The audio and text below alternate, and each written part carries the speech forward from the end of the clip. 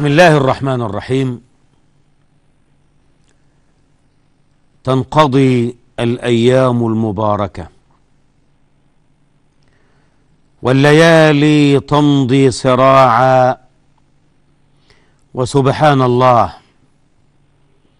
كنا في ثلث أوله رحمة. ووسطه مغفرة. وها نحن أولاء. آخره عتق من النار. المقام يقتضي فينا ومنا. أن ندلل على ما يعتق الرقاب من النار بفضل الغفار. بطاعات وقربات بحسنات وباقيات صالحات. فمع فقه الاعتكاف. الاعتكاف ونحن في بداياته يجب أن نعي أحكامه وأن نحيط بمعالمه لتؤدى هذه الشعيرة على وجهها الصحيح لتكون بفضل الله عند الله مقبولة. الاعتكاف بادئ زي بدء من أقدم العبادات. انظروا إلى إرشاد الله تعالى لسيدينا إبراهيم وإسماعيل عليهما السلام. طهرا بيتي أي البيت الحرام بمكة حرسها الله وزاد البيت تشريفا وتعظيما. نعم طهرا بيتي للطائفين.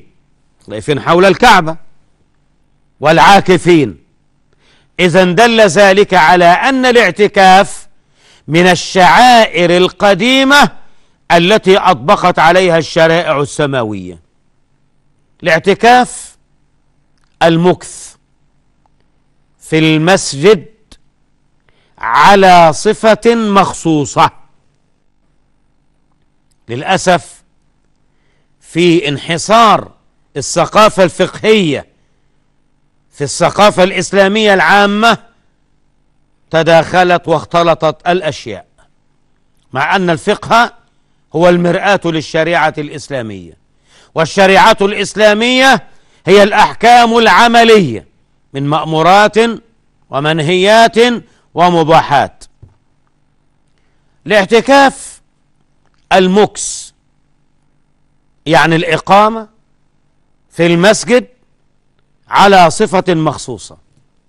بادئ زي بدء أقل زمن الاعتكاف يوم وليلة.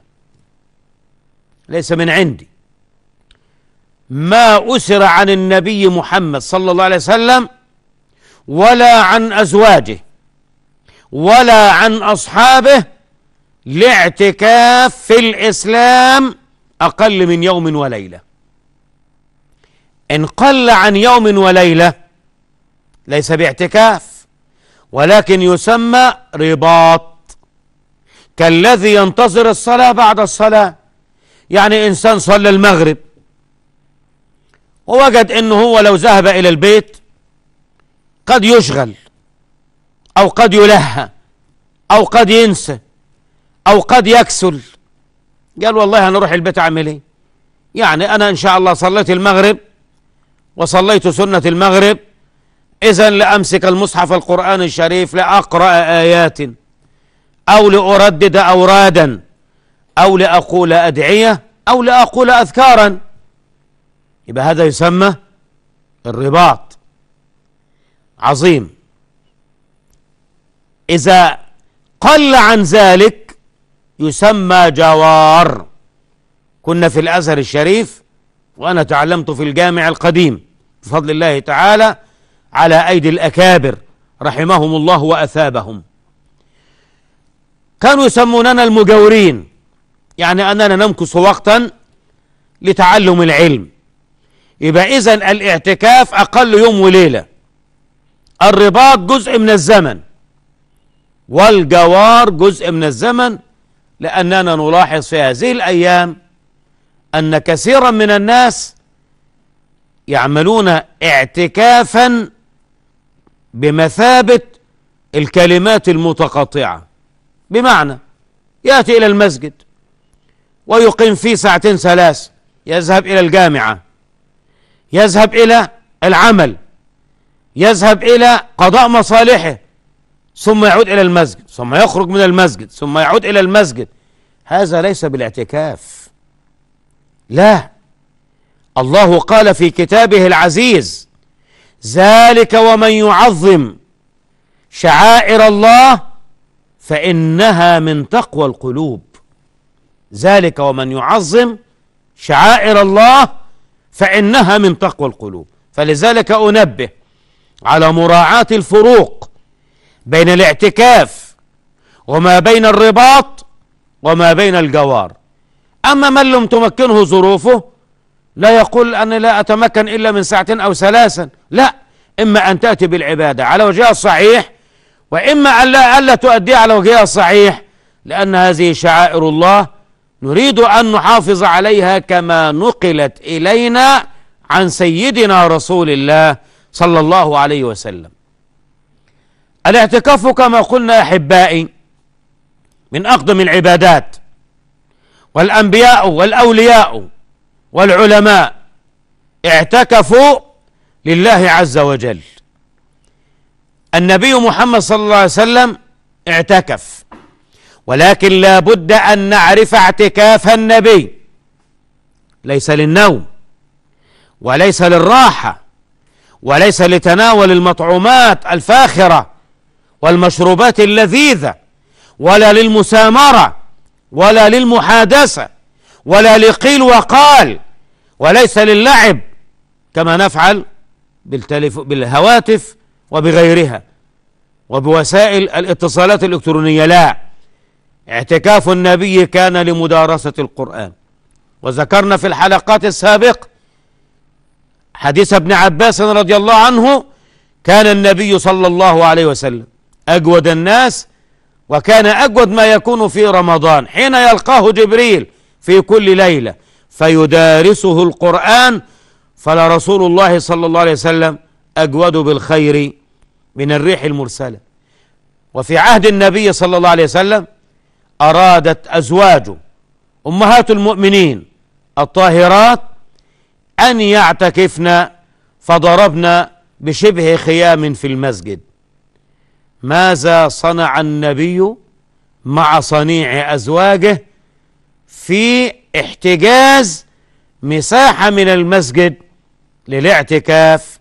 هذا ما سنتعرف عليه لاحقا فإلى هناك.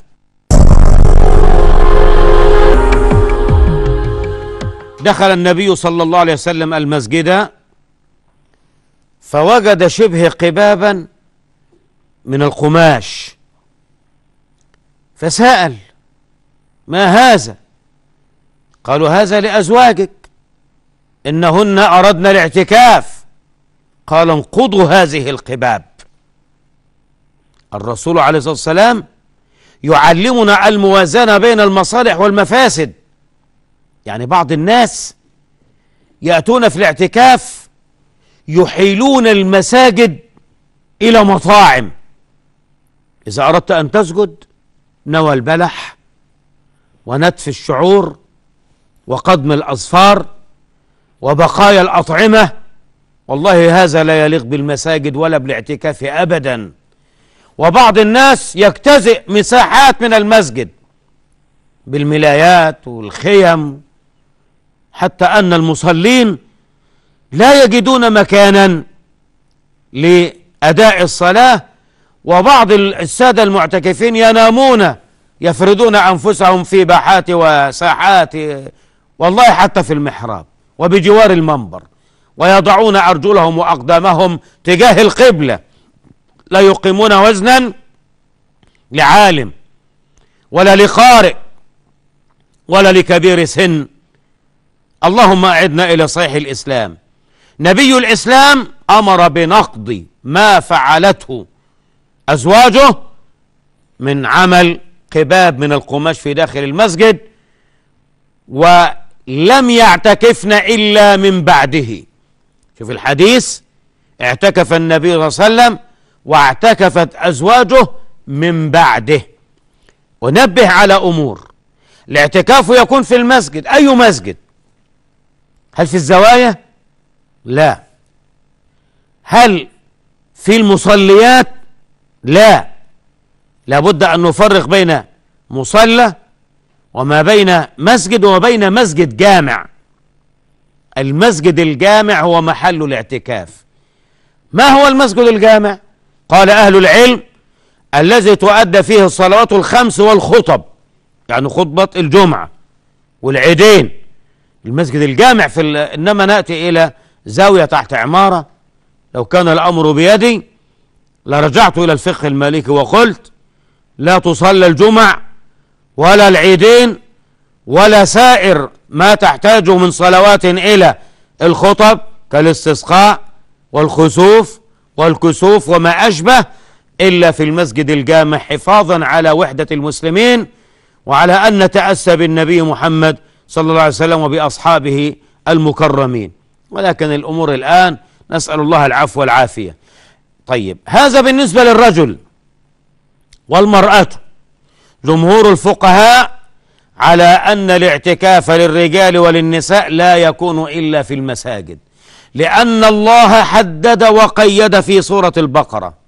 ولا تباشروهن وأنتم عاكفون في المساجد.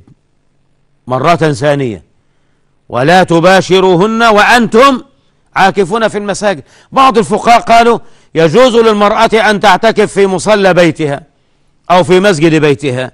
لكن هذا أمر ليس عليه دليل شرعي.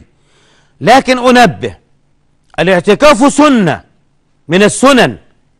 بمعنى لو أن الرجل لا يستطيع الاعتكاف يعني طبيب يعمل في علاج المرضى لا عمله في المستشفى أفضل من الاعتكاف.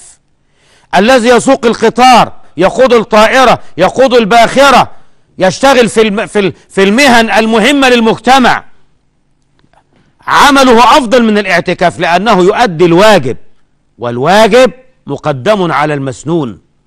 كذلك المرأة بعض النساء هدهن الله إلى الصراط المستقيم تترك أولادها أو صغارها أو تترك الوالدين أو تترك الزوج أو تأتي إلى مسجد لا تتوافر فيه السلامة لعرضها أو لكرامتها أو تأتي لمجرد المسامرة أو لقتل الوقت لا.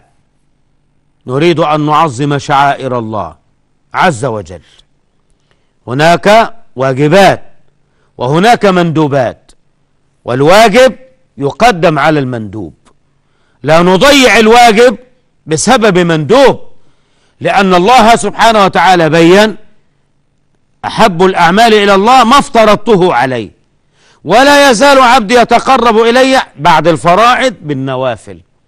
فالاعتكاف سنة. طالب العلم لا يترك العلم للاعتكاف. الصانع أو السائع على الرزق أو المجاهد في سبيل الله في نوبة الحراسة سواء في الشرطة أو الجيش الباسل هل يتركون نوبات الحراسة ويأتون إلى المساجد؟ للاعتكاف ويعرضون أمن البلاد في الداخل والخارج للخطر. هؤلاء ليس عليهم اعتكاف بل إن ما يقومون به بفضل الله وبمشيئته أفضل من الاعتكاف. ينوي الإنسان أنه يعتكف لأن الاعتكاف عبادة والعبادات كما نعلم أحبائي إنما الأعمال بالنيات وإنما لكل امرئ ما نوى.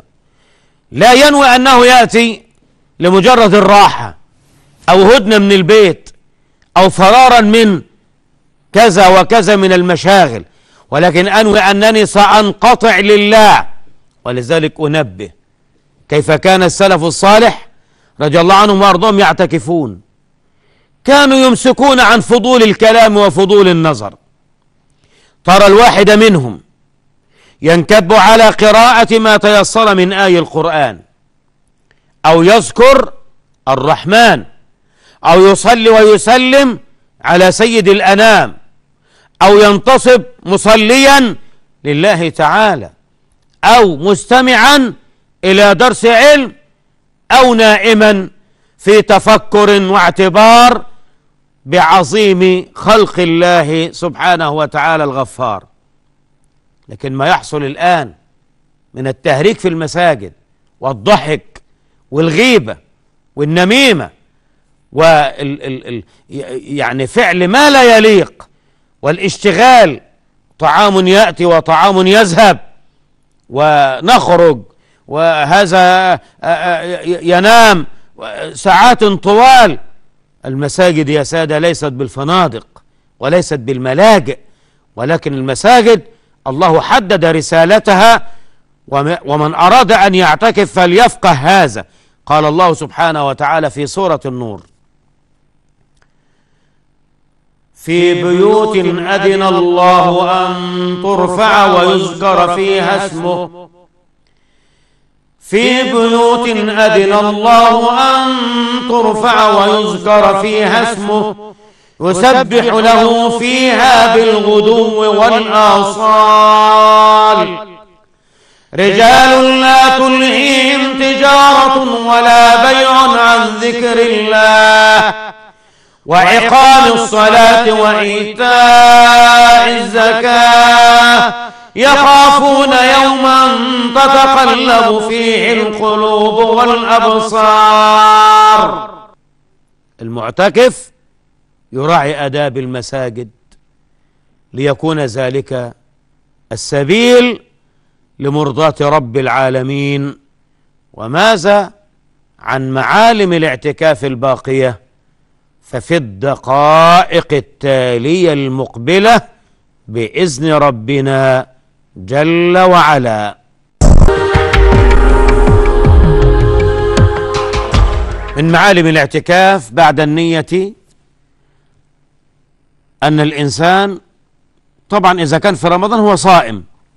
بعض العلماء قال في غير رمضان يستحب له أن يكون صائما وأن يتجنب المعاشرة الجنسية مطلقا سواء بالجماع أو بغير الجماع ما عدا ما لا طاقة له به خارج عن الطاقة البشرية الاحتلام. الاحتلام لا يفسد لا الصيام ولا الاعتكاف.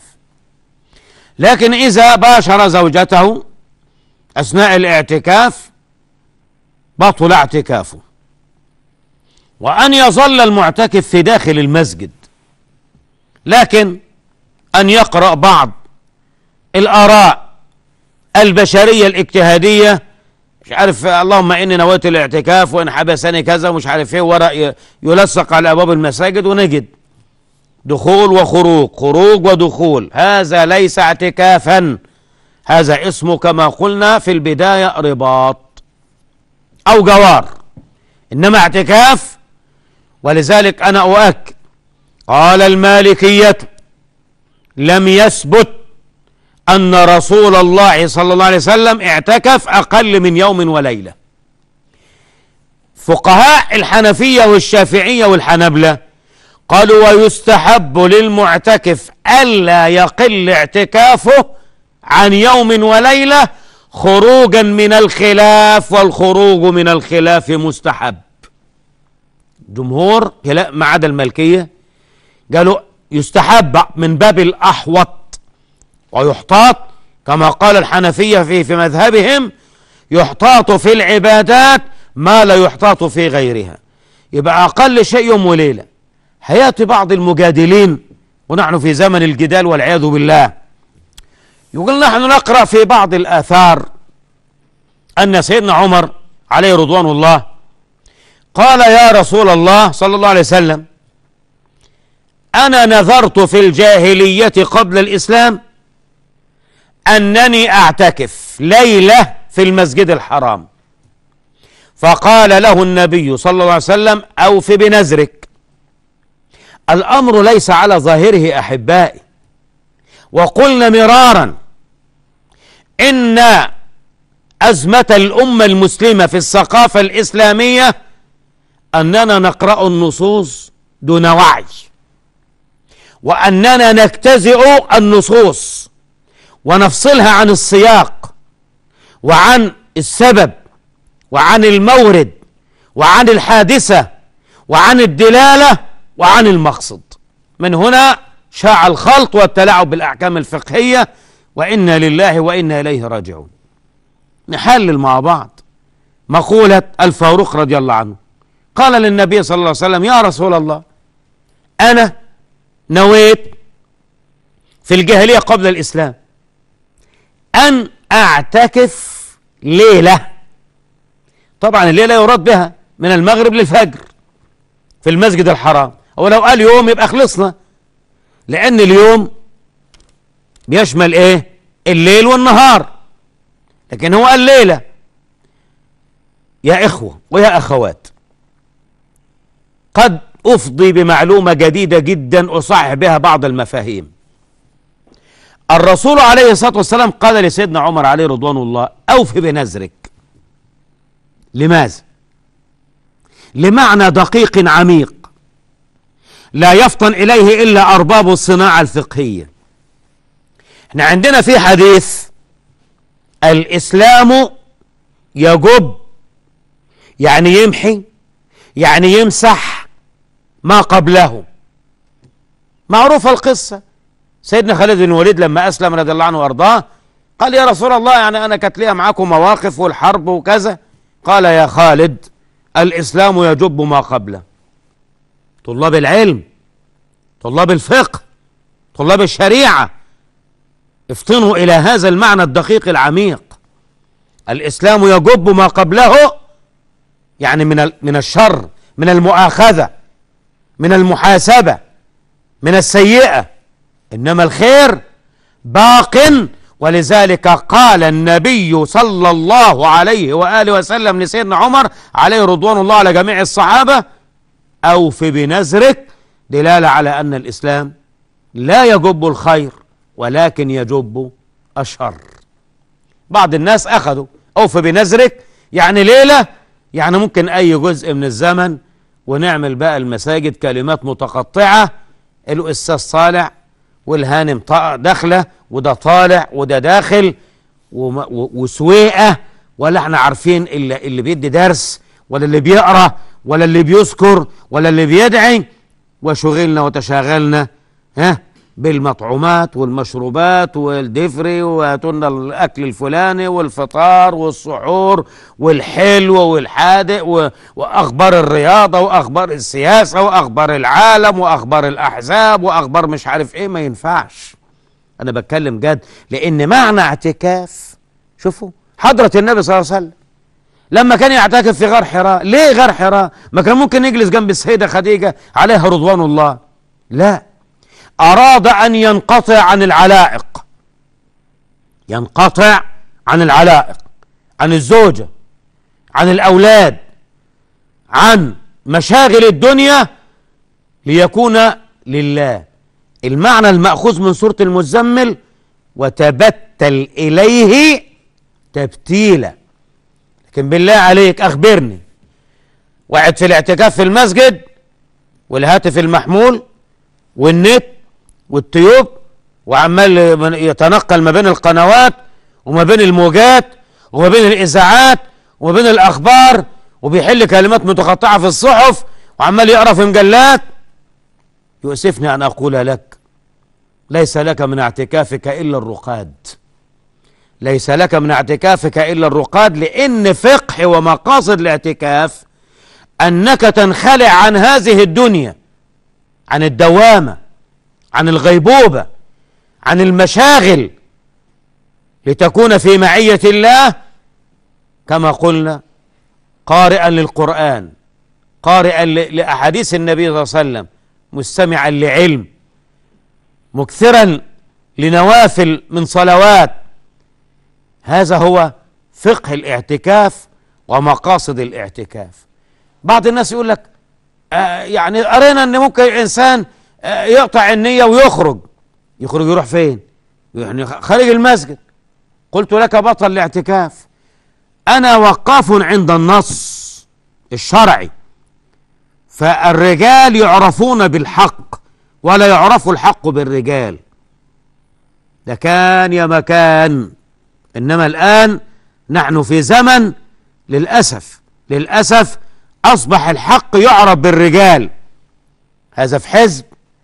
هذا في طريق هذا في فرقة هذا في جماعة هذا في تيار فأصبحنا نعرف الحق عن طريق الرجال. لا الحق إما عن طريق النص الشرعي وعن طريق العلماء الراسخين دون قداسة لأحد لأن القداسة لله عز وجل. فمن هنا أنا أنبه. سيدنا عبد الله بن عمر رضي الله عنهما كان معتكفا في مسجد سيدنا النبي صلى الله عليه وسلم. اللهم لا تحرمنا زيارته. وافض علينا من بركاته. الإمام النووي أنا أشوقك لمسجد حضرة النبي صلى الله عليه وسلم. قال في المجموع مصنفه الماتع اعلم أن الأمة أجمعت على أن أطهر وأنفس بقعة في الأرض هي التي تحوي جسد النبي صلى الله عليه وسلم. نعم. فقالوا يا ابن عمر ليه ابن عمر؟ قالوا رجل. قال يا, يا ابن عمر اصلحني على زوجي. قال حبا وكرامة. فأخذ بنعليه أكرمكم الله. فقال له المعتكفون إلى أين يا ابن عمر؟ قال له أصلح هذا على زوجي. قال إذا بطل اعتكافك. قال سمعت صاحب هذا القبر صلى الله عليه وسلم يقول من مشى في حاجة أخيه فقضاها خير له من أن يعتكف في مسجدي هذا ستين عاما ويبقى الاعتكاف معلم من معالم الإسلام لا يزول ولا يحول ما بقى الليل والنهار والشمس والقمر فاللهم ارزقنا نور العلم وبصيرة الفهم واجعلنا من الذين يستمعون القول فيتبعون أحسنه.